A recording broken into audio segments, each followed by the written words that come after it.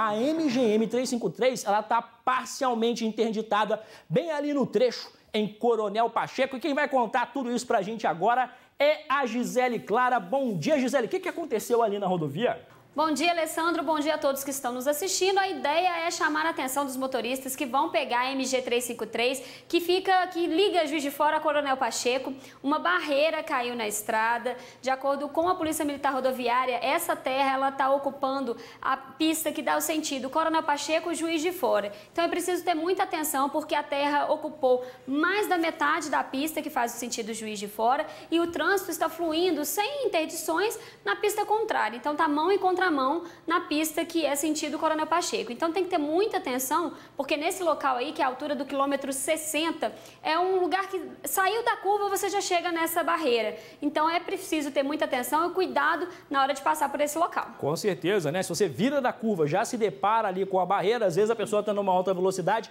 pode não dar tempo de frear, fazer o desvio necessário aí, porque você viu o trânsito nesse trecho está concentrado por conta da queda da barreira apenas a... em uma faixa. De acordo com com a Polícia Militar Rodoviária, Alessandro, eles já pediram para o DR retirar essa terra, eles uhum. estão esperando chegar a equipe lá e o, o, trecho está sinalizado, então é só ter atenção mesmo. Sim, por conta, né? O trecho está sinalizado, mas por conta da localização, que fica depois de uma curva, é claro, tem que ter atenção redobrada. Obrigado, Gisele Clara.